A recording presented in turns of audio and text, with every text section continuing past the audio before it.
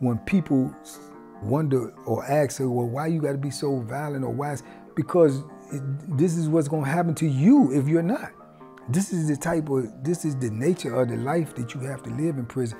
But like I say, a lot of people don't understand that and they don't know that because a lot of times when people in there, it's like a, it's like a microcosm. It's like a smaller world. People is living inside of that world and they living under these rules and regulations because this is what governs this world. And then you don't tell your people on the street this, you don't let them know that through visits or through telephone or, or through mail because you don't want them worried about you. Because if they knew, they would be worried about you and they probably be justified in worrying about you because your life is literally on the line every day because that's the type of stuff that happens.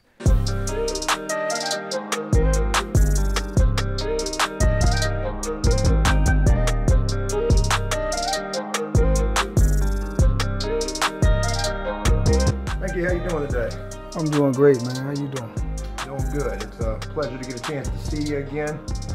This is the third sit-down video that we're doing with you.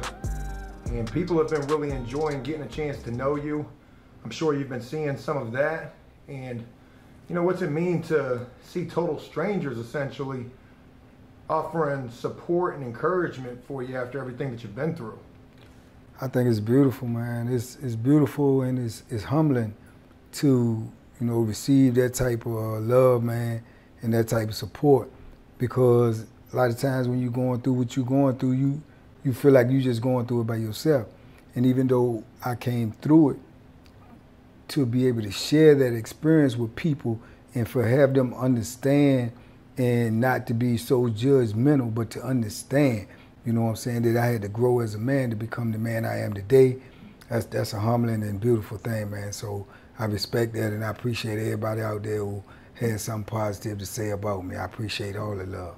You know, as we get into this, one thing that I want to ask pretty much from the onset of this is there's been some confusion in the comments of people thinking that you were somebody else. Yeah. Uh, there was a name that was mentioned, and at first I didn't even think that it was a real name, but after doing a little bit of research, you know, this is a real person a guy by the name of Tyson Xavier Golden, who people are thinking you're that man. Uh, yeah, I've heard about that. I, I haven't uh, read a lot of the comments, but I have people who know me who have read them and told me this type of stuff. But uh, I can assure you that ain't me. You know, I don't know this guy. I never met him. You know, never even heard about him until somebody told me about him. Uh, where he's from and the things he's done don't apply to me. I've never even been to that part of the place where they say he's from. Whoever out there who may think that's me, I can assure you that's not me. You know, it's not my story. And at first I thought it was a troll, you know, somebody just trying to stir the pot a little bit. But like I said, after doing the research, there were some similarities between him and the amount of time that he did and you. He did 33 years as well, just made parole not too long ago. But it's just a similarity is yeah. all it is. You guys just had a similar situation to a certain degree. He just had a lot more heinous charges, and this is not you. I want to say this as well. You know, I know your full government name, and it is not Tyson Xavier Golden, and I wanted to just clear, you know, clear that up. Yeah, I'm glad you did because, like I say, I my people had told me about it. They wanted me to address it, but like I say, it's just like in prison, certain things, if it don't apply to you, you just don't even speak on it. But you know, being that I'm being asked and you ask me, I'll let you know that that's definitely not me. You know, but I don't know him, don't know his story. I ain't got nothing to do with him. I'm not gonna judge him. You know, first time I heard his name, like I said, was when they told me that. But it's definitely not me. So whoever out there that think it's me, you mistaken. And real quick, one final thing before we move on. You know, in the past, working with individuals, sharing their story, I've put people's names out there, their full names out there. In your particular case, I decided not to do that. I went with your nickname. I wanted to protect your privacy. We've had issues with privacy in the past. And, you know, for anybody who may think I'm just not putting your name out there because it's somehow associated with this uh, other name, that's not the case at all. I've got the proof. Banky, you know who you are, and that's it. I appreciate you helped me to clear that up. No problem, no problem. like I said, I was. I mean, you know, I'm new out here, so I guess uh, I'm a little green in the situation. I was under I was under the impression if everybody knew his real name, they could just look him up and you could see him. If you could see a picture of him, you could see he's not me. I don't even know what he looked like, but I'm assuming people could do that. But I guess it's more difficult than you know. For whatever reason, there's no yeah. picture of this man. So uh, neither here nor there. I want to go ahead and move on.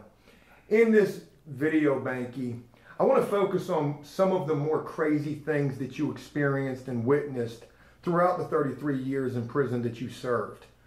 Off camera, you shared with me two really crazy stories that I want to key in on in this video.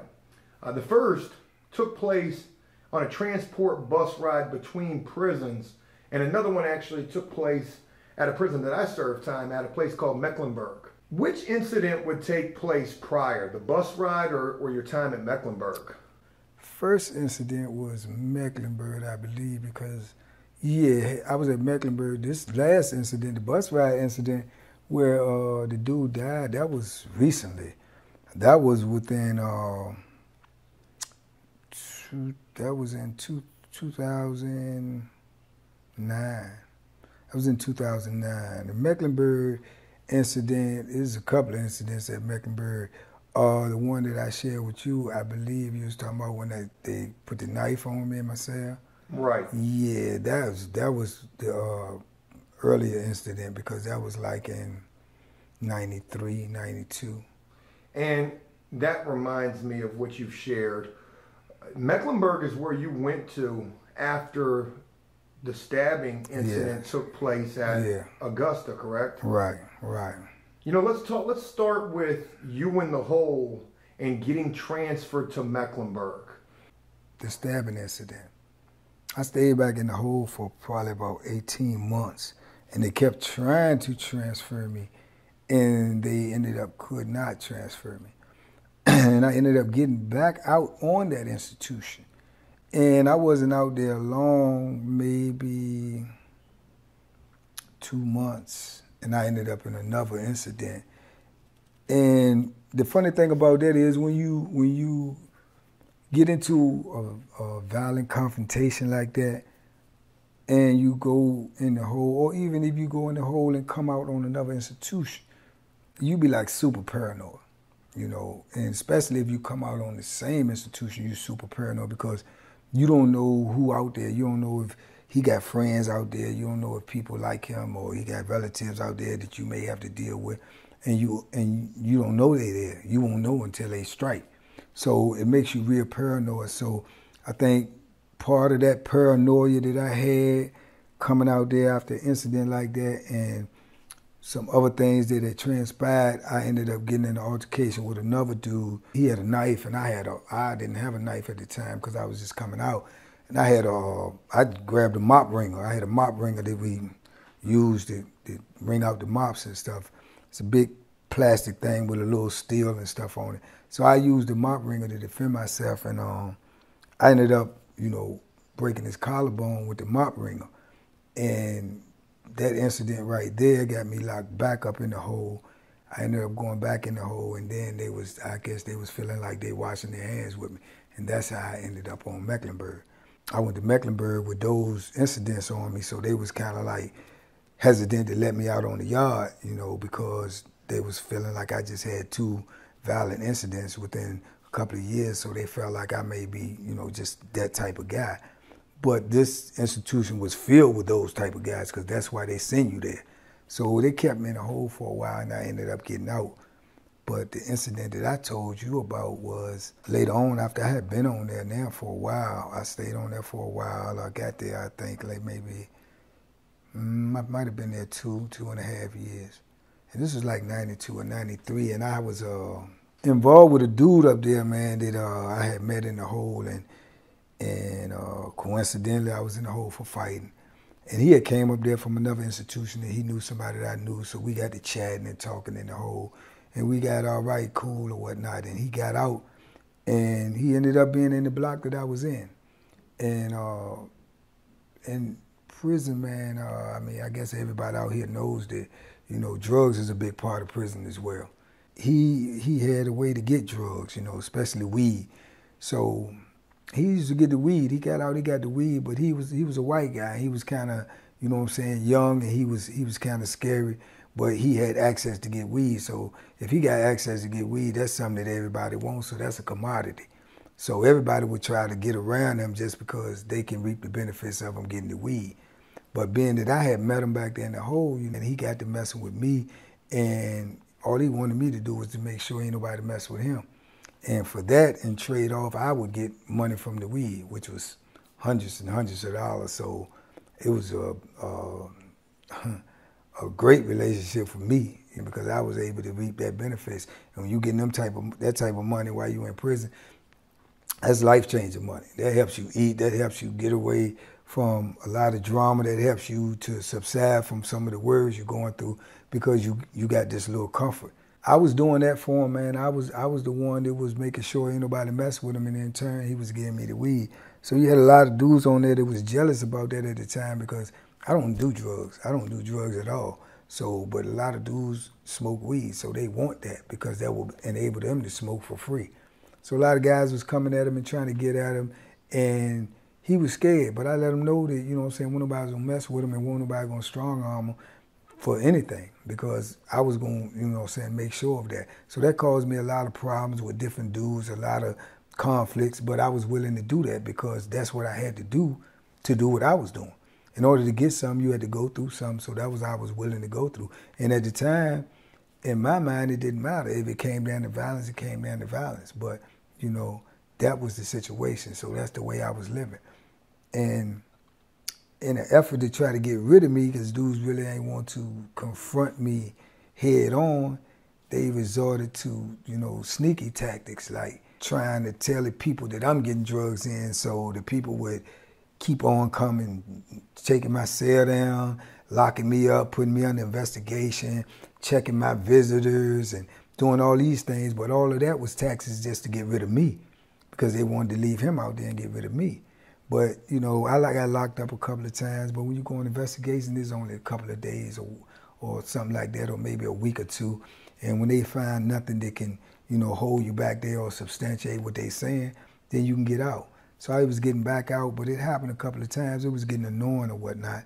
But I maintained. After that didn't work, I guess they resorted to one day, I guess somebody had snuck in my cell and put a knife in my cell. Now that's serious because they find a knife on you and you own an institution where everybody on there known for violence. That's gonna automatically pique their, you know, hairs up. They're gonna be, you know, what's going on. So somebody had obviously went in my cell and did that. I didn't know. I was so paranoid at the time that I thought when they came and shook my cell down and found the knife, I thought the police put it in there. That's how I felt. I felt like they did it because every time they locked me for investigation, they came up empty. So I figured they well they put this on me so to make sure I get locked up and stay back there. So when I went back there, I had to go on a hunger strike. I went on a hunger strike, meaning I wasn't eating any food at all because I was I was paranoid. I said, well, if you put a knife in my cell, y'all might try to poison my food. I didn't know what was going on. So I was I was on a hunger strike. I wasn't eating, and I was scared. I was paranoid. I thought they did it the warden ended up coming back there and telling me that you know his staff didn't do it. Some somebody wrote a note and said I had the knife in my cell, and that's what led them to come shake me down and find the knife. He showed me the notes or whatever, but I was still skeptical. I didn't know. You know, like I say, I'm still young, just like 92, 93. I've been in prison since 87, so it's not a whole lot of time that went by. So I, I was still paranoid, but I wouldn't eat. But at the same time, they had death row on Mecklenburg, and um, they had a dude that was on death row, and, and, he was scheduled to die within a week or two. And some type of way, he he got his hands on some some some dope, some heroin, and he OD'd and and took his own life. And that was like big news, and they was like super paranoid. And when something like that happened now, everybody's job is on the line. The warden's job, assistant warden, whoever run the prison, their job on the line because this is supposed to be the most secure maximum prison in the state of Virginia. And death row is the secure of the secure. So how can this man get drugs to OD and he's scheduled to go in a lecture chair in front of the whole world? So it, it was big news. So my people was calling up there. They was worried about me. They was concerned about me because I was on a hunger strike and they was calling so much that it was tying up the lines from them dealing with people that was calling about this death with the OD on death row. So the warden them came back there to me and told me, please eat some food. They actually bought me like McDonald's or Burger King food, one or the other, and tried to get me to eat because they was concerned and my people was concerned and calling so much, but I wouldn't eat. And I was still paranoid. He said, well, what do you want? I said, I want to leave. I want to get off the institution. I don't even want to be here because y'all putting knives in my, said, I don't trust you. I don't want to be here. So he said, well, we can't transfer you like that. You, you just got to eat. Give us time and you eat. And I was like, I ain't eat nothing. You know, I wouldn't eat. How I long did you go on this hunger strike for? I probably didn't eat for maybe about uh, seven, eight days.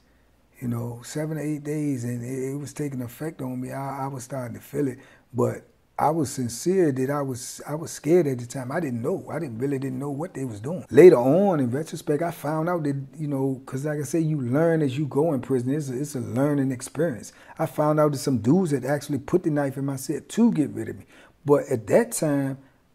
I wasn't even thinking like that. I was thinking that the police did it. They did it to me. I know from that experience that they can move you anytime they want to move you. Because they came to my cell, man, and told me to sign these documents. They was going to give me a, a, emergency transfer, sign the documents. I signed the documents, and psh, they packed me up, man. And the next day, I was I was in the hole on Greensville, and that was that was how I went to Greensville. That was how I got there through emergency transfer within just that, just like that. And that hadn't happened to me in the rest of the time I've been locked up. Everything else is procedure. They go through this, get put in for a transfer, you wait, da da da da da, whatever. It may take months sometimes. Happen just like that. So I know it can be done, but I hadn't seen it done since. But uh, yeah, that's how I ended up leaving, man, on some trickery stuff. That's part of the nature of prison. The treachery and the, and, and, the, and the cunningness and the and the outthinking. People people would do whatever they have to do to survive. They would do whatever they have to do to get you out of the way if they need if they feel you in the way. And at the time, I guess they felt like I was in the way, so they got me out of the way. You learn those type of things as you go on and go on. And once I learned a lesson in prison, I never forget a lesson. So you may can get me with something when I was green, or you may can get me with something one time, but you'll never get me with the same thing twice. You know, and that's how I ended up leaving. I want to bring up a few things from when you shared the story with me, and just things for people to key in on you had met this guy that you guys were selling weed together back in the hole. Young white guy, he was scared to be at Mecklenburg. He was coming from what, like a level one, right? Yeah, he came from a, a level one institution. To my understanding, what I believe, I think he got caught with like an ounce of cocaine on a level one, and um, that's that's a lot, you know. And uh, I think he ended up getting like 20 years. But on a level one, you you you're basically getting ready to go home, or close to it.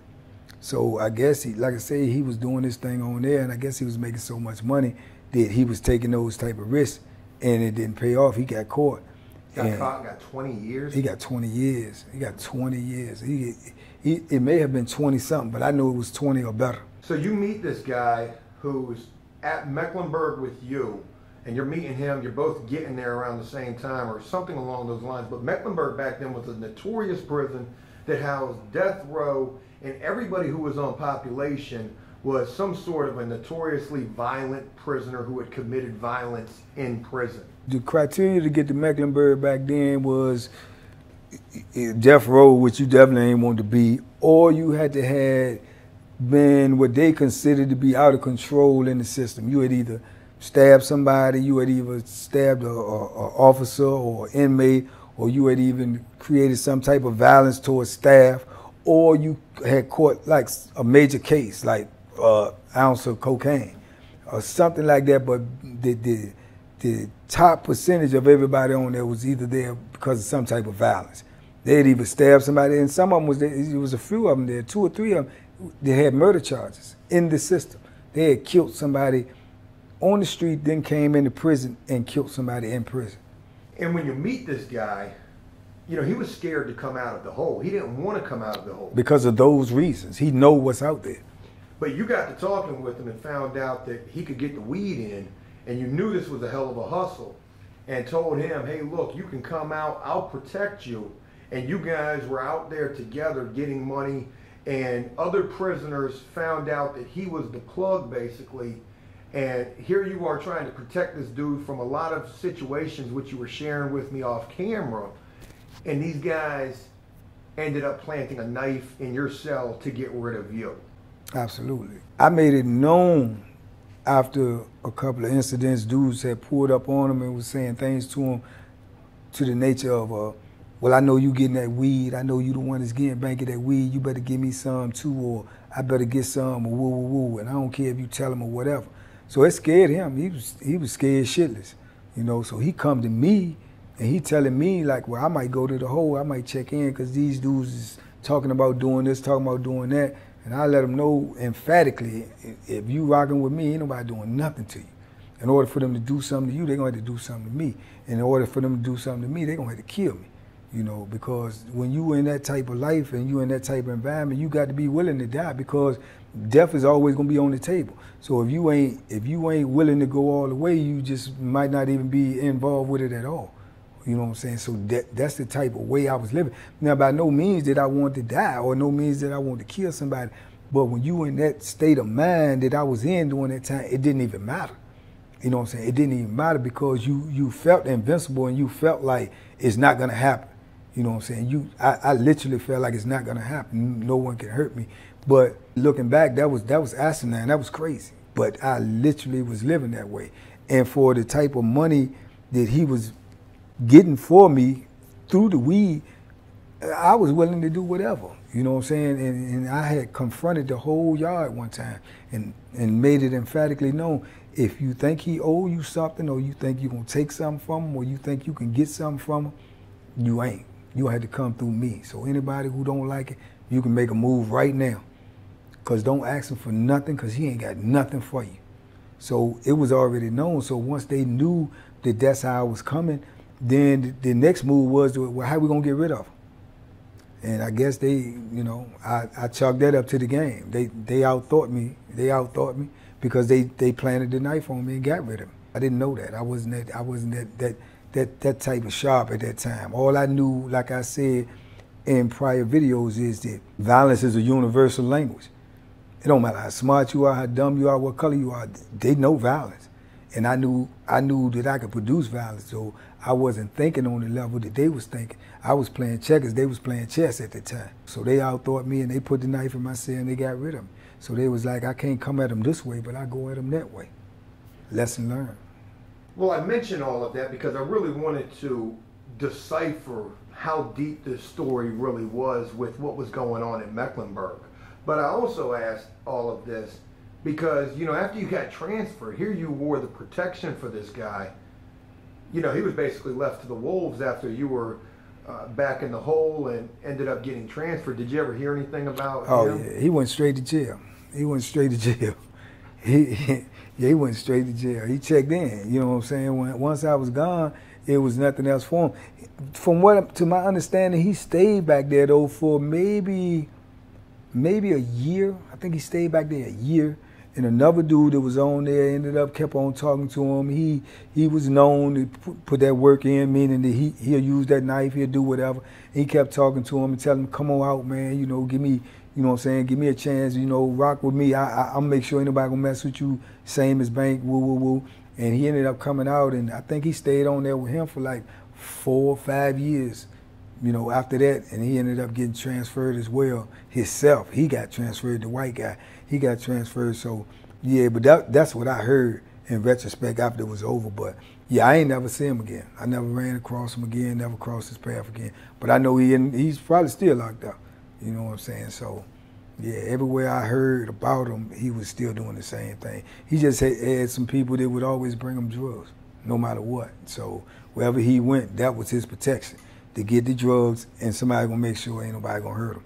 He was a small dude, you know what I'm saying, and he wasn't violent of, of any nature, but he didn't want to be, which nobody wants to be, setting in segregation all your whole bit because you you too afraid to be out in population. So he did what worked for him, you know what I'm saying? He came up with a with a way to make money. And if you can make money in prison, somebody gonna always find a way to make sure you all right. No matter what.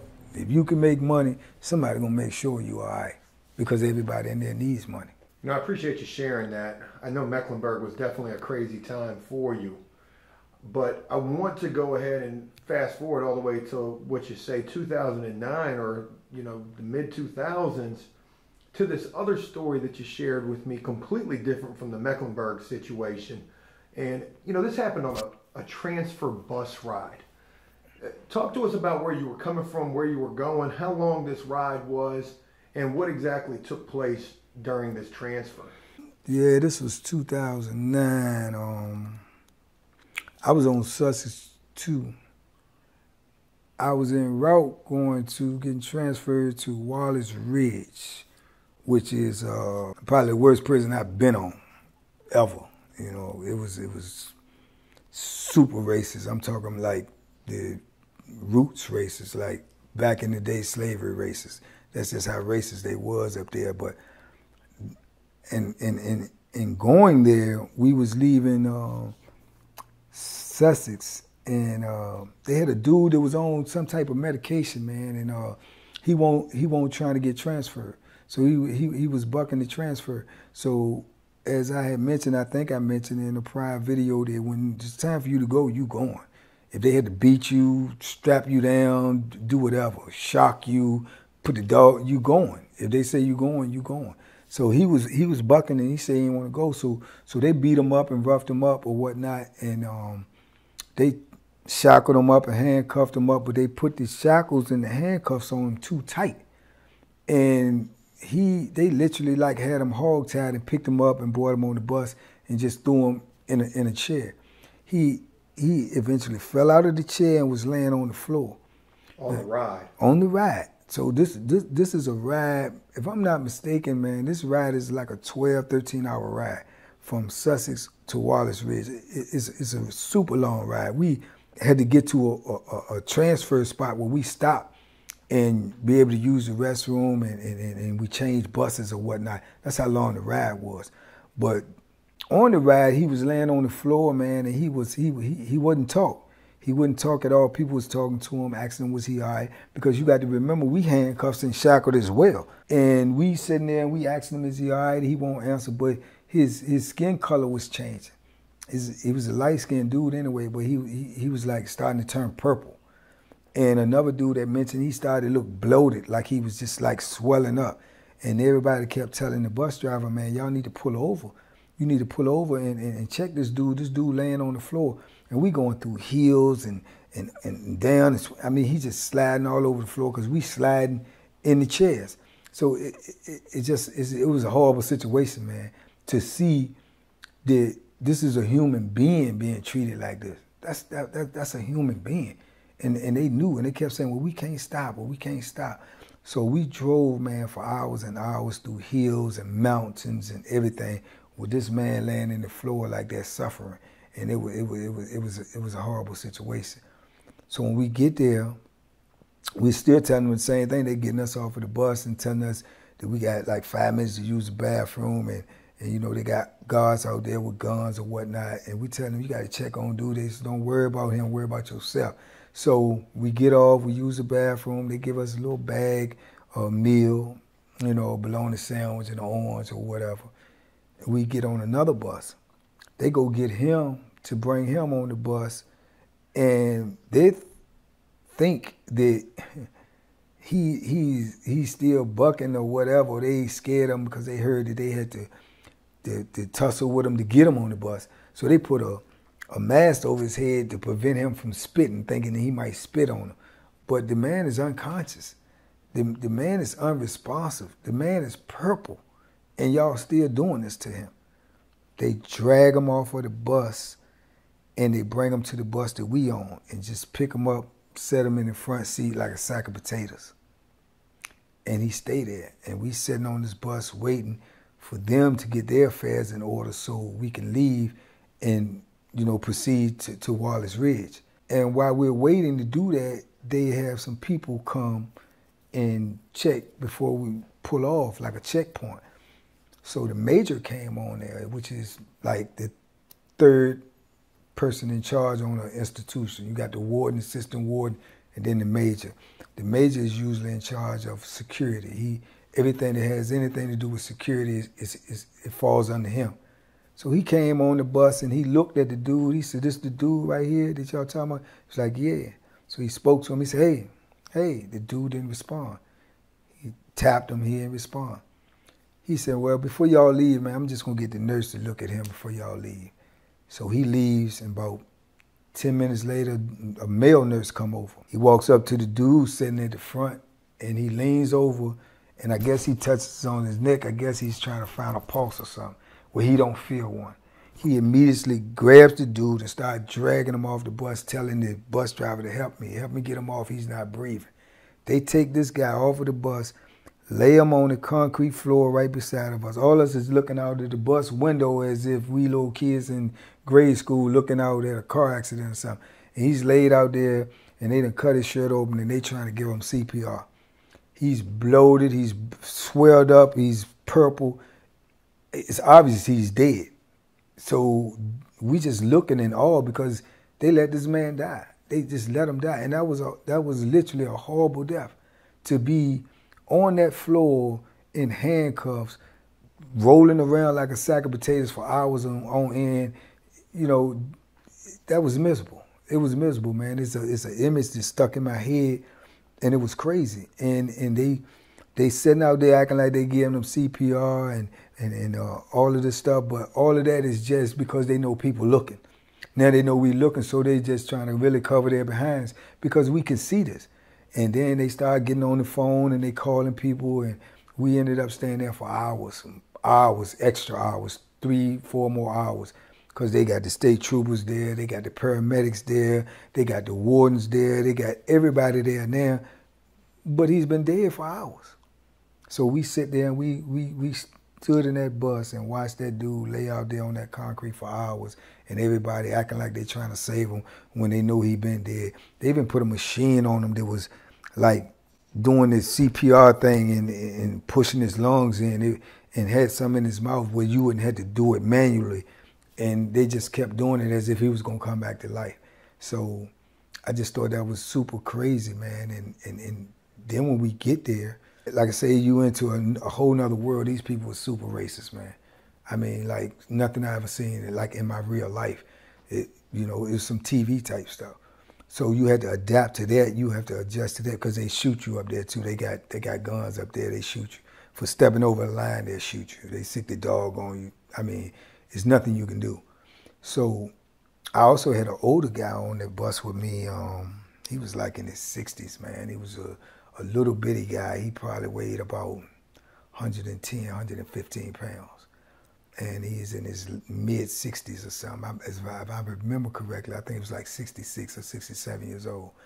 And um, he was real boisterous, though. He'd talk a lot. And, but you could tell it was a little something wrong with him. But he didn't mean no harm. His time would do that to you. It, it, it, would destroy your brain if you let it. He had been locked up, far as I knew, I think like 30 years, 20, between 28 and 30 some years.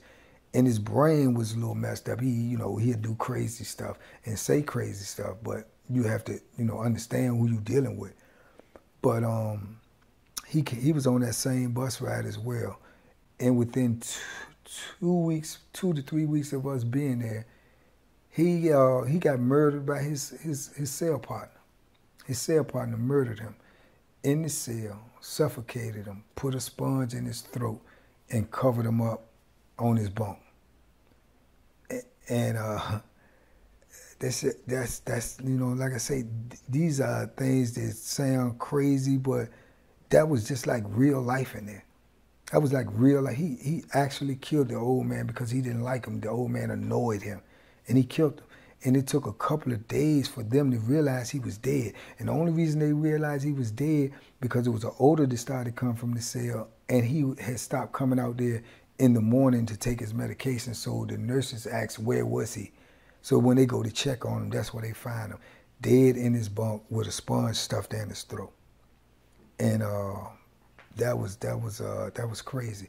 And I used to I was telling you it's, it's a movie and I can't. I, I want to say Final Destination or something, but it's a movie that made me think. I was like, almost. It's like seven of us came up there on the bus, and, and within a, a month or two, two of them dead. So it, it just made you like super paranoid, like what was going on. But that was just crazy. That same dude that ended up killing them too, he he ended up killing another person within a year later. You I want to jump in right here because I'm reminded of you sharing this with me before off camera. And it was when you mentioned the fact that this guy's cellmate killed somebody else within a year. And then you told me who this was. I had actually done a video about this particular prisoner probably four years ago. One of the most notorious prisoners from this state, a guy by the name of Robert Gleason. And you were locked up with this guy getting transferred to Wallens Ridge uh, with somebody who would end up being his cellie, who he would actually kill. That's that's the exact same dude, and um, I mean, like I say, when when they went to his cell and they found him dead, and they brought him out, and it was like asking him what happened to him. He said he killed him. It was nonchalant. Just, just as easy as you asking somebody, is it raining outside? He said yes or no. He said, yeah, I killed him. He said, why? He said, I didn't like him. When you see that type of stuff, like I say, you and I see, you see him coming out in a body bag. You see him take him out in a body bag. You see the, the real police come inside of a prison. You see state troopers. You see uh, doctors and stuff come in here to take this dude out. It, it's crazy to you. And this is, this is like I say, this is 2009. I've been in prison now since 87 and the same stuff is still happening. So when people wonder or ask, well, why you got to be so violent or why? Because it, this is what's going to happen to you if you're not. This is the type of, this is the nature of the life that you have to live in prison. But like I say, a lot of people don't understand that and they don't know that because a lot of times when people in there, it's like a, it's like a microcosm. It's like a smaller world. People is living inside of that world and they living under these rules and regulations because this is what governs this world. And then you don't tell your people on the street this. You don't let them know that through visits or through telephone or, or through mail because you don't want them worried about you. Because if they knew, they would be worried about you and they probably be justified in worrying about you because your life is literally on the line every day because that's the type of stuff that happens the incident that I spoke on before when I said about when I, I had the first incident about stabbing somebody, like I said, I, I haven't been able to read all them comments or even uh, barely any because I'm waiting to get some glasses and stuff like that. Plus, I haven't really been in into knowing how to navigate that that that system and stuff yet. But people be telling me about things that been said on there, and even about the incident when they said about um, the stabbing incident. Somebody had told me they said that well one of the comments was oh yeah well if you stab somebody from the back you're a coward. Well uh, my response to that is if you in war you in war to win. You, you you're not in war to be fair. You're not you at war and when you wait around for to see if someone's gonna kill you you probably gonna get killed you know and that's just how it is you don't wait for somebody to come kill you. If you know you got a conflict with somebody, it's up to you to handle it. If that person know he has a conflict with you, he should be prepared to handle it. When people are in conflict in prison, you don't sit around and wait and see what the next man gonna do. That's gonna cost you your life. And I, I would I would say just the same thing in the jungle. I, I, have never seen a lion tell a gazelle that he's gonna kill him. Does that make the lion a coward? He's the king of the jungle. He attacks because the gazelle knows not to be in his presence because they know they don't get along. When you beefing with somebody in the prison, you know the same thing. You know you don't get along or you know it's gonna be beef. So you gonna make a move or he gonna make a move. But if you wait for him to make a move, then you're gonna die. Or you're gonna be having a hole in you, or you're gonna be walking around with a bag on your side using the bathroom, or you're gonna be walking around with one eye. So when someone threatens me or when somebody try to do something to me or if I think they're gonna try to harm me, I'm gonna do what I have to do to protect me because I only got one me, you know. So if that what constitutes as being a coward, then that's what it is. But I'd rather be a coward and alive than be a brave dead man. You know, so that's that's what I say to that, and that's that's how we live in prison. You know, you live by your instincts, you live by your feeling, you live by if you think danger is coming, you're gonna have to do something. It's just that simple. Because all those who don't wait, that's that's what happened to them. They get taken out in body bags. I just wanted to say that because in talking about this made me think about when somebody told me that. Which usually, like I say, I told you earlier today, I don't I don't really worry about what people say because I know who I am and I know what I am. You know what I'm saying? So I don't I don't try to defend nothing. I just let my life speak for itself. I'm gonna be who I am, and you're gonna be able to see who I am. But in order to judge somebody, then you have to be willing to be judged. You know what I'm saying? You don't know what you would do in any situation until you are in that situation. You know, until you are in that situation. But also, self-preservation is the, is the first first law of nature. You got to be able to take care of yourself. If you can't take care of yourself, then you can't take care of nobody else. You can't do anything. And in, in prison, you're gonna have to know how to take care of yourself, one way or another. That's something you're gonna learn, or you just gonna perish in there. Period. You know, and I had too many people out here that loved me and was depending on me to get back out here. That's why I did what I had to do to make it back out here. You know, to the people who do love me, and, and, and I'm glad I'm out here. And if I hadn't lived the way I live, I wouldn't be out here. Or if I would be out here, I wouldn't be the, the, the man that I am today. You know, and the man that I am today, I'm proud of.